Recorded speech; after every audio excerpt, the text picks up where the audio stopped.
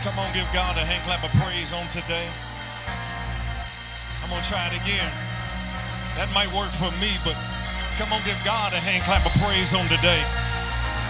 Come on, put some power behind it if you know there's power in His name. Punctuated with some power. Say it like you mean it. Hallelujah. I was glad when they said unto me, Let us go into the house of the Lord. It is with great joy, excitement, and enthusiasm that we are, in fact, here because we could be any other place, but God saw fit that we be here in this place, alive, cognizant, aware of our surroundings, with the right activity of our limbs, health, breath, life, and strength. Touch somebody and tell them you ought to be glad to be here. Not in the hospital, not in the morgue, not in hospice, not not with respiratory failure, not, not in the grave, not in prison, but here, somebody ought to give God some glory that you're here. Come on, put your hands together right where you stand if you're glad to be here in this place. Hallelujah. God is great. Indeed, he is greatly to be praised. And I want to give some recognition and show some love to this awesome and amazing music department. Give it up for them really quickly. Y'all blessed us tremendously. We at the third watch, and they still going hard and strong. And, and you know, in, in war, uh, those soldiers have to keep that front line strong until reinforcements come. I thank them until I get here uh, that they keep keep that front line strong until reinforcements come. But but touch somebody and tell them help is here now. Oh God, y'all don't hear me in this house. Put your hands together. Hallelujah. Listen to all of our guests who are in this place. We are so grateful to God for your very presence. We're family here at New Direction Church. You're not around bougie people, stuck up people, funny style people, folk that won't speak to you. Come on, turn to your neighbor and tell them, I'm glad to be here with you, on the road with you. Come on, come on, in the house with you, celebrating God with you. Come on, come on. Uh oh, one of them, one of them, two of them might be bougie. They ain't saying nothing. Turn to the other neighbor and tell them, tell them, let me talk to you then. I'm happy to see you then. Come on. Listen, listen, I, I, I want to do this. I want to get right to the word because we're in this series, Exodus, and I have a lot to share and a short amount of time to do that. Um, this message on today is found in Exodus chapter 31. Um, but as I was entering into worship, I saw our young people singing. It is Youth Sunday, and uh, come on, give it up for them. I believe the children are the future. We should teach them well and let them lead the way. Show them all the beauty they possess inside and give them a sense of pride to make it easier. So, so do me a favor and give it up for those who've worked with our young people on today. Thank God for them. Listen, I, I want you to open up your Bibles and turn with me to Exodus chapter 31. And I want to look at verses 1 through 11 on today. To all of our guests who are in the house, um, we thank God for you being in house and online. Your presence is not taken for granted. We are made the better because you are here. Amen. And when you come to worship, it's not just something for you to get, but there's something for you to give. There's somebody for you to encourage, somebody for you to uplift. And so you've done that already with your presence. Exodus chapter 31, and I want to look at verses 1 through 11. when you have arrived, please say amen. Let's pray. God, we are so grateful and thankful for these moments. You've allowed us to be here in your house at this time. God, we don't take for granted all of the wonderful things you've done in our lives. God, forgive us for our many sins and faults and complaints. God, we are grateful that you allowed us to even be here. So, God, now that we're here, we ask you would speak to our hearts, to our minds, grow us and develop us, edify us take your word, which has already been prepared in private, and God, make it more powerful and practical as it is shared in public.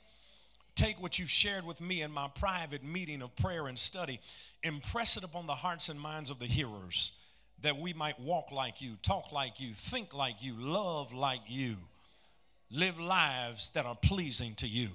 In Jesus' holy name we pray.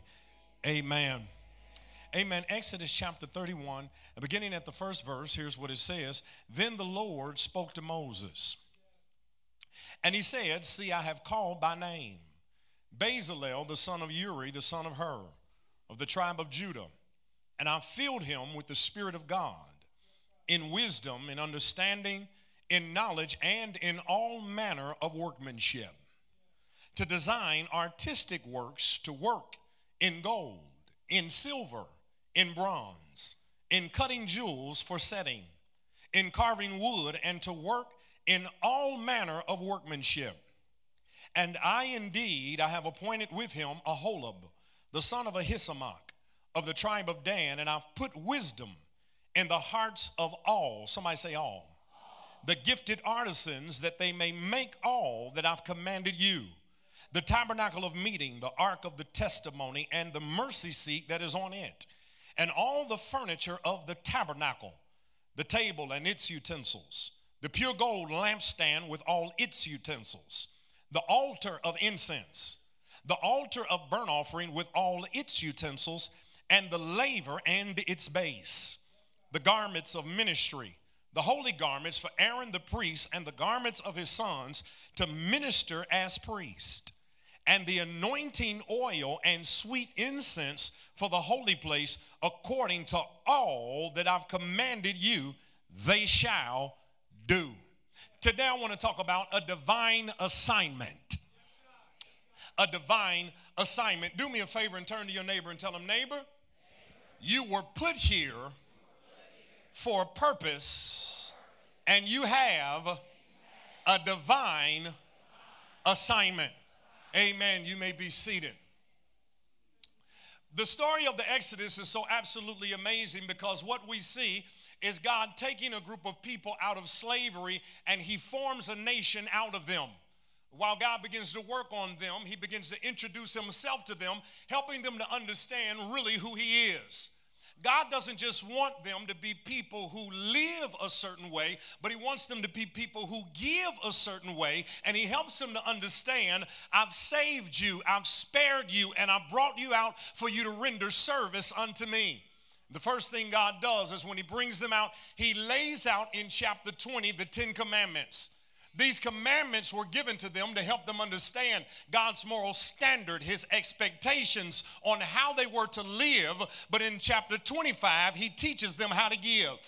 He says, Now I want to collect an offering from you all. Watch this, but I want you to collect this offering so that I can build a tabernacle and a place where I have residency among you.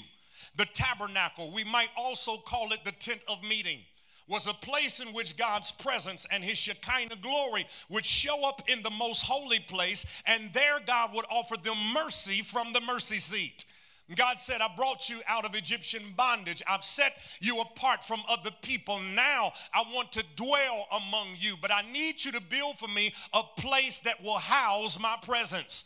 And he begins to teach them and tell them how specifications the tabernacle or temple is to be erected and built. He said, Moses, I want you to see to it that you build it in accordance to the specifications and the architectural design I have laid out for you to follow. And in a real sense, God has given all of us specifications how we ought to build our lives. The Bible is the blueprint. It has the details given to us by God as to how we ought to build our careers, how we ought to build our families, how we ought to build our relationships, how we ought to build our houses. We're to build them in accordance to the blueprint that God has given to us. In fact, Jesus says this the man or the woman who builds their life upon my word, I'll liken them to a wise man or a wise woman that storms may come and opposition may come and adversity may come, but they will be stable and secure because they built them their lives on the solid rock. And in reality, I believe there's some people in here that the only reason you're still standing is not because you built your life on your career, not because you built it on your pension, not because you built it on relationships, but you built your life on the Word of God, and that's what's kept you secure, solid, and sound. Save the Lord build a house, they labor in vain who build it. Not only does God give them the architectural designs, he tells them, Moses, I want you all to make sure that you build in accordance to the code and the standard I've set for you to build. I've done a few building projects. We've expanded this sanctuary. We've done some renovations at the other property. I've been with others during the process of building. My wife and I built our second home. I've been on building projects. And what you get on a building project is that you get architectural designs. Those blueprints give you the specifications as to how you are to build. When the architect makes the blueprints, then the blueprints are taken to the city and the state for approval. Once they approve your building, building project, you then have to make sure you follow the code and the specifications that they've given to you. Then they give you an inspector who comes to make sure that you build in accordance to the layout, to the code, and the standard they've set for you because they're the ones who give you the grade. Can I tell you that God is not just the architect, God is also the authority who gives us the permit as to what we can build. Then God is the one who inspects what we build to make sure what we are building is in accordance with Him. Make sure the relationships you build are in accordance to His Word. Make sure the name you're trying to build for yourself is in accordance to His Word. Make sure the family you're trying to build is in accordance to His Word because God is the one that's going to give you the grade. Hold on, wait a minute. God is not just the one who tells them how to build, God's the one who tells them why to build. Because here's what you got to understand God gives us our why. And if you don't come to God and get your purpose from Him, life won't make sense to you. Because God is the one who gives us our mission, our purpose, and helps us understand why we are to live the lives in accordance to His word, what we are to focus on, and what our mission should be. Hear me loud and clear. God is the one that gives you your purpose. He tells Jeremiah, Before I formed you in the belly, I knew your name. I had a purpose and a plan for your life. Before people had an opinion, I had a purpose. Before people put their mouths on you, I already had a purpose. Can I insert this real quick right where I stand. It doesn't matter what your past is, God still has a purpose and a plan for your life. In fact, God will use your past to tie into your purpose. So ultimately, it all works together for His good. Every tear you've cried, even the mistakes you made, even the setbacks you endure, God will use your past and still work with you in the present to get you to your future. Is there anybody up in this house who's grateful to God that He looks beyond your faults, still supplies your needs, still is up to something in your life, despite what you've said, despite what you've done. Touch somebody on your row and tell them you still got purpose. You know how I know you got purpose? Because look at your handprint. No two handprints are alike. Every single human being on earth, even twins, have their own individual identity and handprint. That means there's something specific for you to do something specific for you to build, something specific for you to work on. Your, your personality, your experiences, everything you've gone through, God is still up to something in your life. In fact, when God brought Israel out and he's speaking to the congregation now, he calls Bezalel out from among them and he tells Bezalel, Your best days are not behind you, your best days are still ahead of you. In fact, I delivered you and saved you because I'm up to something in this season of your life. I believe he was an older man. I believe he was more mature. But when God gives him the purpose, he helps him understand that I'm still up to something in your life. I came to tell some 40 year olds, some 50 year olds, some 60 year olds, some 70 year olds. God is still up to something in your life. You still got wisdom to offer. You still got advice and insight to give. You got experience we ain't had. You got something something to offer to God and to this world. I thought I had more people of purpose up in this house. Touch somebody next to you and tell them, get ready because your best work is ahead of you. Get ready because God is getting ready to do a new thing, saith the Lord. Is there anybody here who just believe God spared you, saved you, delivered you, brought you out because he's still up to something in your life? Holler back at me if you hear me in this house. He says, I'm giving you something specific, but then I'm giving you something significant because they had built the monuments in Egypt. They had built the king's tombs, they had built the Sphinx and the pyramids of Giza. In fact, in Egypt now, the architectural designs and structures are still modern wonders of our world. They had built all of these elaborate uh, monuments and structures. But God said, I've got something more significant for you to do in this season. I want you to use the experience and the exposure you got in Egypt. Now I want you to use that and build a tabernacle. I want you to use the gifts, the talents, and the abilities I've given you. And now I want you to use them for building me a house for my glory. Perhaps Bezalel, who was a former slave, thought that all of his work was for nothing that perhaps they were laboring and building all of these structures in Egypt. But deep down, he knew there was something greater. And it wasn't until God brought them out that God began to show him more significant things. He had gifts, talents, and abilities that were laying dormant on the inside of him, and his most significant work was ahead of him. God was calling him to use his time, his talent, and his treasure to build for him a house and contribute toward his kingdom. I want somebody in here to understand God didn't just put you here to go to your job, nine to five, clock out, purchase materials, keep doing it over and over again in terms of mundane working. God has something more significant for you to contribute to, and that's the kingdom of God. God. God wants you to use your time, your treasure, and your talent, not just in the secular, but He wants you to use it in the sacred. Because God is not coming back for universities, He's not coming back for corporations, He's not coming back for institutions, He's coming back for a church without a spot or a wrinkle. And only what we do for Christ will last, everything else will fade.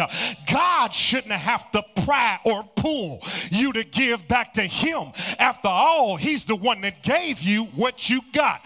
Bezalel, you wouldn't have the gift if I ain't give it to you. You wouldn't have the resources if I didn't give them to you. You wouldn't have the knowledge if I didn't give it to you. Now that I gave it to you, I want you to give a portion back to me. Now I'm going to come down your row. But is there anybody here who knows everything you got the Lord gave you? What you know the Lord taught you. Where you are the Lord brought you. So I don't have a problem lifting up my hands. I don't have a problem serving in ministry. I don't have a problem offering God an offering. After all, God is the one that got me entrance into the university. God is the one that got me the application for the job. Then God is the one that told them, give me the job. Then God gave me the health to go to the job. Draw my check. Give something back. Have I got anybody here who won't think, wait until Thanksgiving to give God some thanks? Open up your mouth and put a praise on it right there. God didn't have to pry, pull, or beg. He said, I'm the one gave you everything you have. Let me give this to you. Chapter 25, he tells them how to give. Because God wants to make you, get this, not just a consumer, but a contributor. In fact, we need to stop asking God just to bless us, but God, make me a blessing. God, I want a ball so big. Oh, this is too much for y'all. I thought I had some folk. God, I want, I want you to bless me indeed. Enlarge my territory that I'm the answer to somebody's prayer. Enlarge my territory that I open up doors instead of knocking on them. Enlarge my territory so I'm the lender, not the borrower. Holler back at me if you believe God want to stretch you.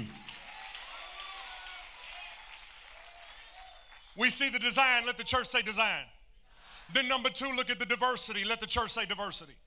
Here's where I want to get you. Watch this. Notice I had you read verse 1 through 11 because God says, I have given them all. Multiple times you'll see that term all. I've given them the gift to work in all manner of workmanship. I've taken artisans and sculptors and painters and seamstress and all of those who are craftsmen. I want all of them to use all of their gifts. I don't want just a few people working on the tabernacle. Yes, Moses has his job, but Bezalel, you got a different lane. You may not be able to sing like her, preach like him, operate like that one, but God didn't leave you empty handed. I want all of y'all using all of what I gave you. I want you to take your gifts and I want you to offer them to me. I want you to render unto me some service. He calls all of them in the congregation to use all of their gifts. Can I tell you, God doesn't just give us natural gifts, God gives us spiritual gifts, and all of us have a responsibility and a part and a role to play in the church. If the church is not functioning at full capacity, we are partially paralyzed. But wonder could we do more work if all of us use our gifts and talents? Wonder the impact we could make from 38th to 34th Street if all of us came together. Wonder what type of impact we could make from 38th Street to 56th if all of us use our gifts for the glory of God. Now, I need all of y'all to put a praise on it right there. Here's why I love it. I love it because notice this. God said, I want you all, don't miss this, to use your gifts, your talents, and your abilities. And I want you to use them for my work. In fact, watch this. Bezalel is the one who we see the name the most. But there were all of the people who shared. Watch this. All of them had a trade and a skill. This is what I want to help you on today. Because they got this job because all of them had a trade or a skill. I am a proponent for higher education. The Bible says, in all you're getting, get knowledge, get wisdom, get understanding. I, am graduating in December, December the 14th, with a master's in Christian leadership. 2020, I start a doctoral program.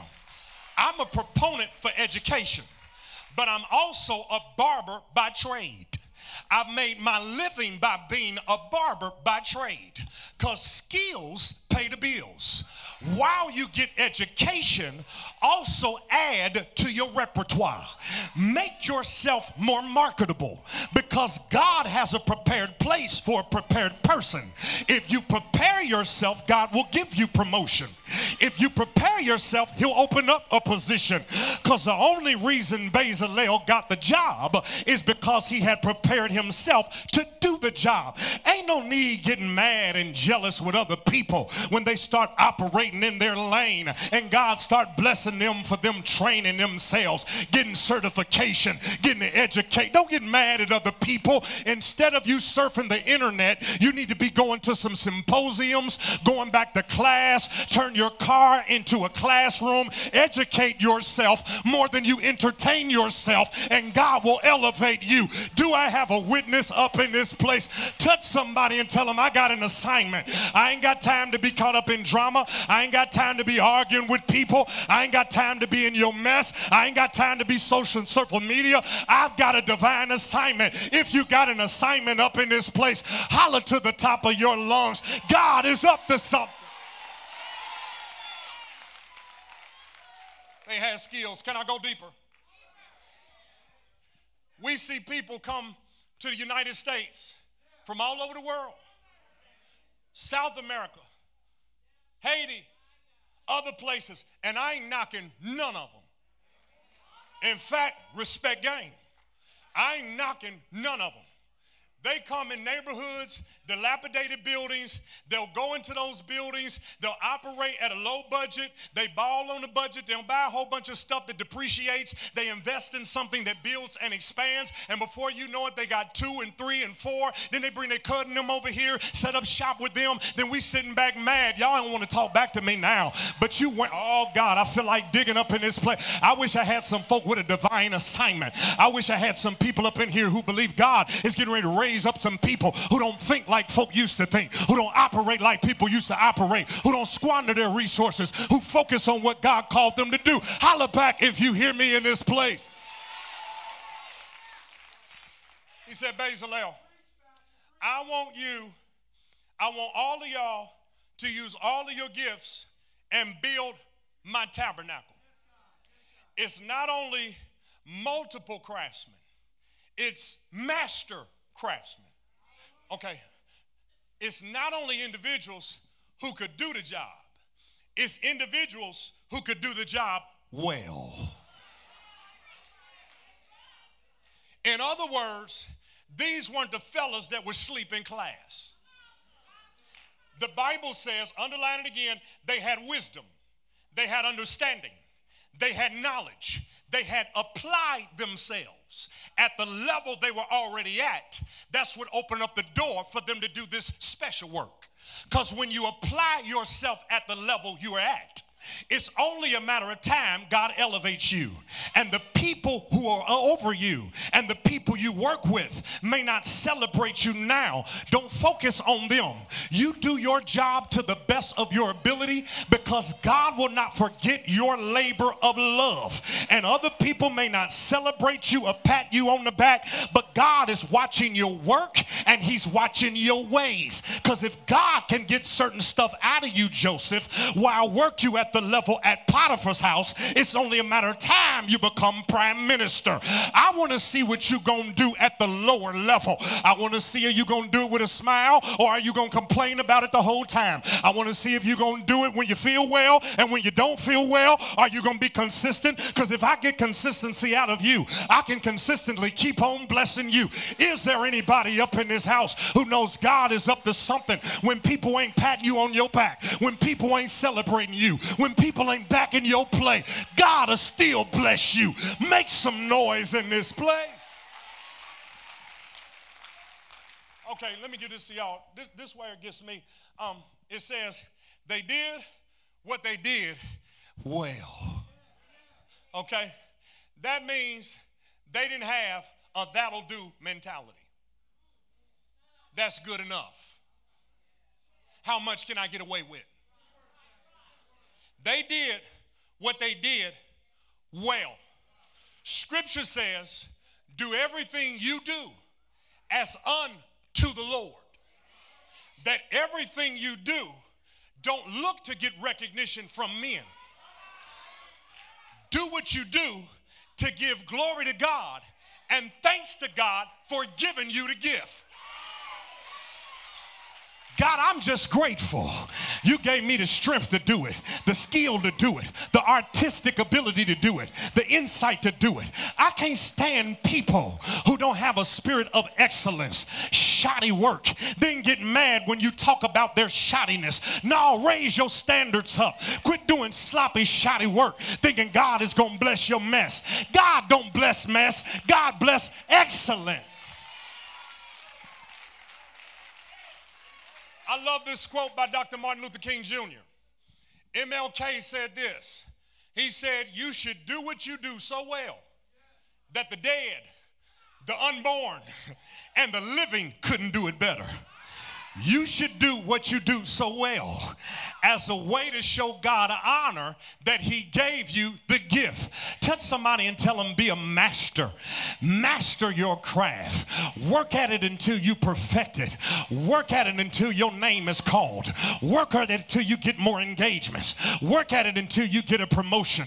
Work at it until you get a raise. Work at it until you become a professional. Don't be content being average. Don't be content being an amateur. Master master what you do. And I promise you, the master will bless you for it.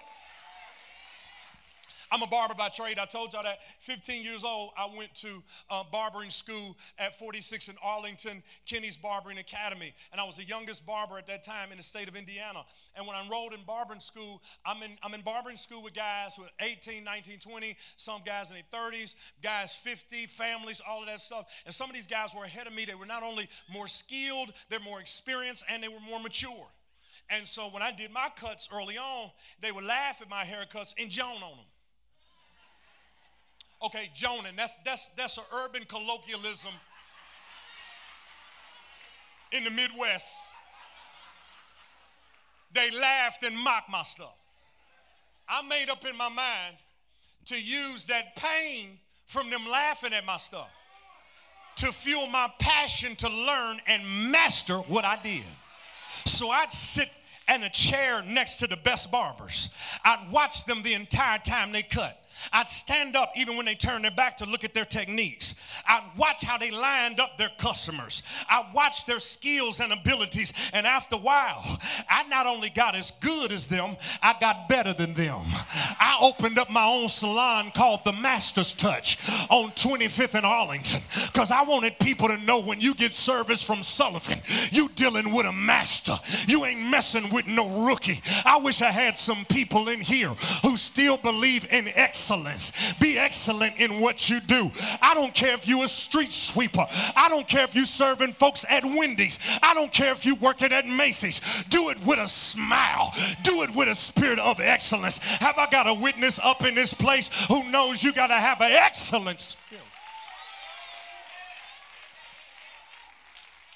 These guys mastered what they did, and they did it so well God gave them a divine assignment. God said, You guys have built these ancient architectural structures in Egypt. Now I want you to build something more significant. I brought you out because I got a purpose and a plan in mind for your gifts and your skills. What you all build will be a testimony the tabernacle will stand as a testimony to God what my excellency looks like, what my glory looks like. I am a God of order. That's why I'm having you separate the holy place from the most holy place. Then I'm having you separate the, the area for the Gentiles from the Jewish people. Then I'm going to have the table of showbread. Then I want the lampstand to burn a special kind of oil and incense because this is glory and honor to me.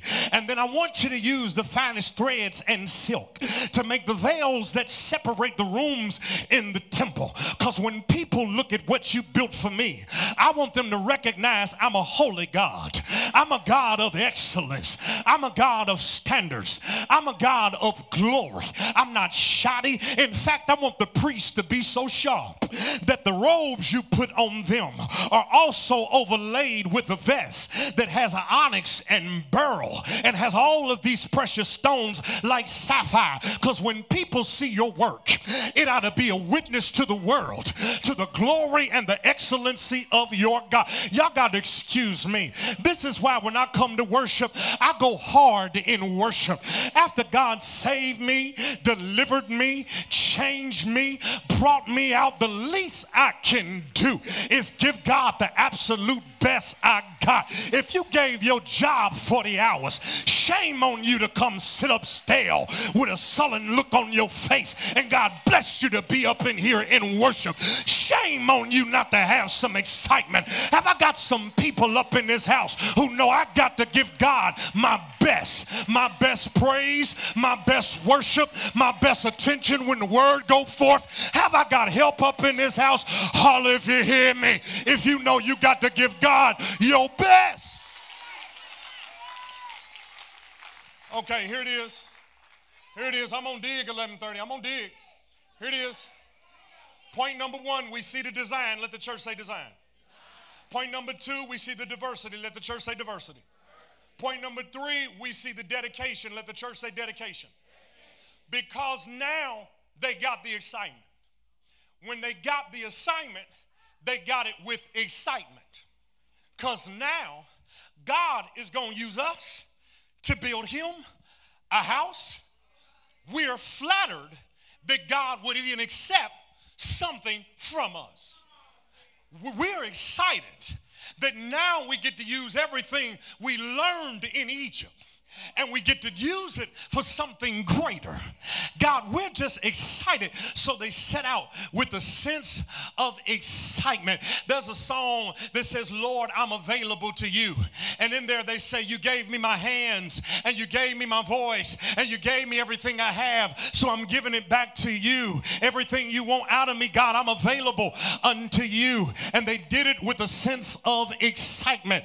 They were excited about it because they knew that what they built was a way to worship God for having given them what they had. Walk with me and think with me for a moment. They used their hands to worship. They may have not been praise worshipers or leaders who waved their hands. They were craftsmen who used their hands masterfully to build this tabernacle. In other words, they said, God, our work is a way to worship. We want to ascribe worth to you. That's what worship means. It means to give God the best and what he's worth. So they use their work as a way to worship because they understood, God, you gave us our hands to even use and work to build. Then on top of what they had, the Bible says God gave them an anointing. I promise you, God, when you give him your gifts, God will maximize your gifts and use them greater than you ever thought he could use them. They're using their talents as a way to worship. But hold on, their work was also a way to witness because God said, build the tabernacle so that when all the neighboring nations and the idolaters and all of those who are in worshiping idols see what you built to me, there'll be no mistake as to who the true living God is. So I want your work to be a witness. Can I help somebody in here on today? Stop complaining about the fact you're working with people who ain't saved. Stop talking about the fact you're dealing with demons on your job. You are the salt of the earth. So God had to sprinkle you in some areas that needed some seasoning. God had to sprinkle you in some areas that needed your salt.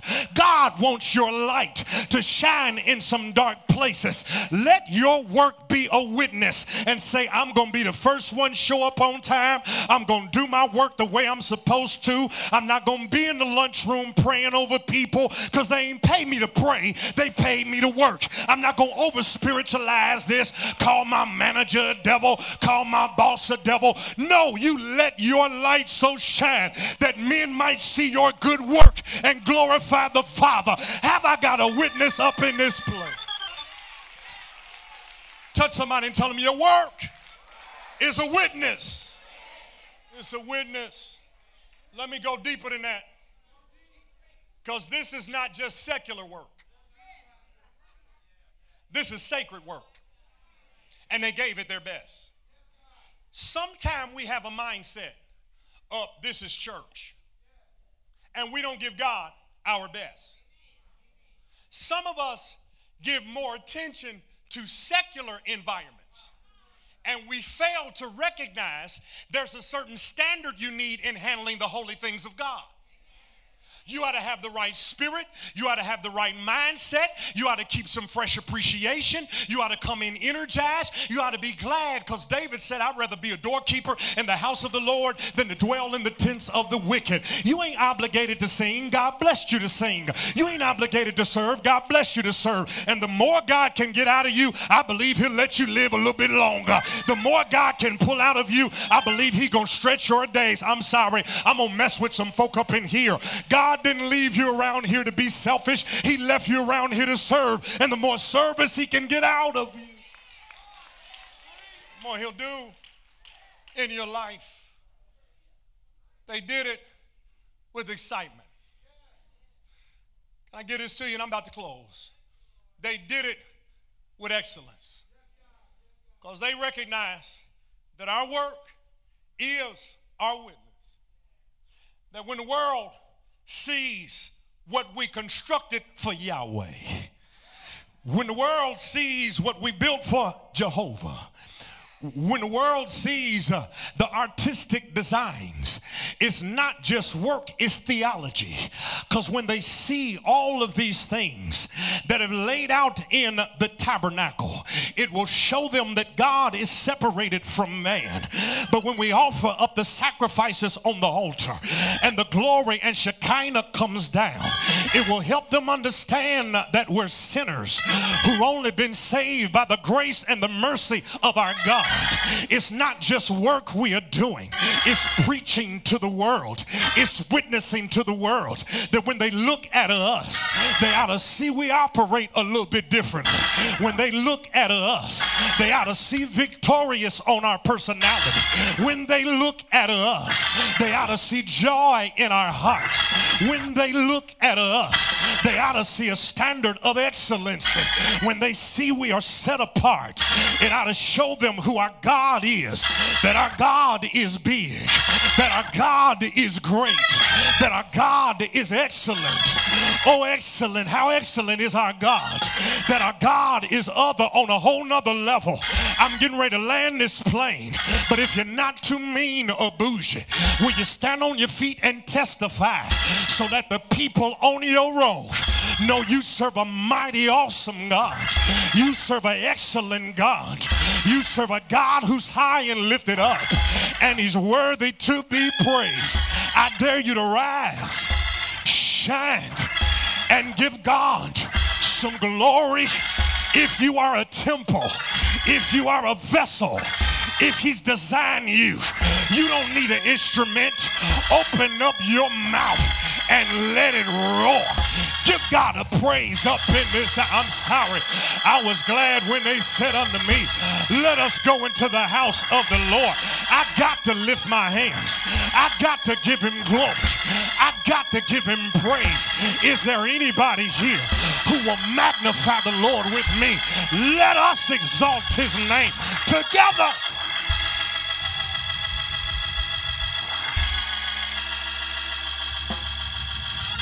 Want you to get this, and I'm closing, I promise you. They built the tabernacle in seven months. Don't miss this. This is a moment. I want to get this in your spirit. Stay standing right where you are. For seven months, they built the tabernacle. Don't miss this. Seven months they built it and completed it. 300 years later, Solomon would build a temple. The same furniture they built in Exodus chapter 31 was the same furniture that was transferred to the temple. 300 years it stood the test of time. Because when you do good work, it goes beyond your lifetime. You ought to do work so well that when you are dead and gone, people are singing your song. Ooh, we hate that Chanel left. Ooh, we mad that Kevin moved on. Ooh, if we could get him back. God, I ask that you would do with New Direction 50 years after I'm dead and gone. Kids are still getting scholarships out of this church. Neighborhoods are still being fed. Families are still being blessed because we got a divine assignment. If you are in agreement with me, put your hands together. Give God some glory. Touch somebody, tell them God is up to something. And it's bigger than you. And it's greater than you. And it's beyond you. But He wants it out of you. I'm, I'm gone while you're standing. Let me give y'all this. A year ago, this time, I was in Rome, Italy. And we had we had um, some individuals who go to a Catholic church who had our 10 o'clock service. They made it known that they were Catholic. I said, wow, they ought to love this message today. A year ago, we went to Rome, Italy. While there, we went to the Vatican. The Vatican is where the Sistine Chapel is. In the Sistine Chapel, there are mosaics and frescoes, these amazing paintings that were done by Michelangelo. The amazing thing is, Michelangelo was a sculptor, but the Pope called him to do this divine assignment. He said, Michelangelo, I know it's in you. Reluctantly, he decided to paint the Sistine Chapel. The Sistine Chapel lays out the themes of the Bible and theology and God's salvific plan from Genesis to Revelation. It, it tells the story of Jesus and redemption. He did this work in 1501. Today in 2019, 20,000 people a day come and look at the work he did that goes to the glory of God. He did it 15 hours a day. In fact, Michelangelo, from the paint that fell from the ceiling, it left him blind in his left eye because he had to stand upright as he painted the ceilings. It left him with a hunchback as he left the working site.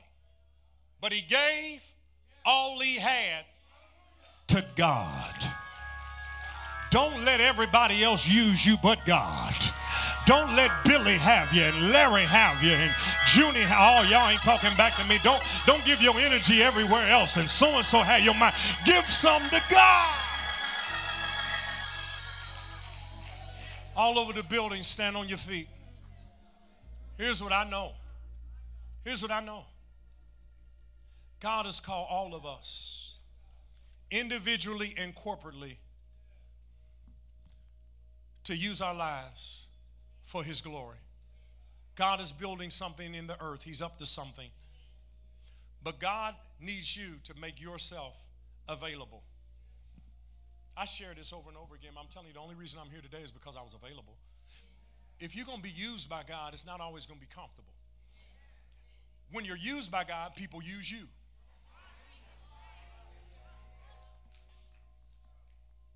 But God is a God who says, I am going to reward you for giving yourself to me and allow me to use you for something greater than yourself. And the scripture says the entire congregation were called by God to give themselves to Him so He could build them, He could shape them into not only just making a tabernacle for Him, but He would make them into tabernacles. God wants to dwell in your heart, He wants to dwell in your thoughts, He wants to dwell in your plans, He wants to dwell in your focus, He, he wants your motives for living, He wants your purpose. He wants to alter how you think, your destiny. He's got a divine assignment for you, but you got to make yourself available to Him. Do me a favor, heads are bowed, eyes are closed.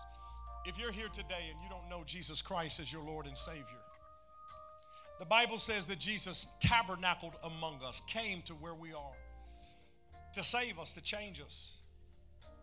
Now, He wants to live in your heart in your mind. If you're here today and you don't know Jesus as your Lord and Savior, you're not saved, you're not born again, you're not a Christian, you need to get his set of blueprints so you can build your life in accordance to his word.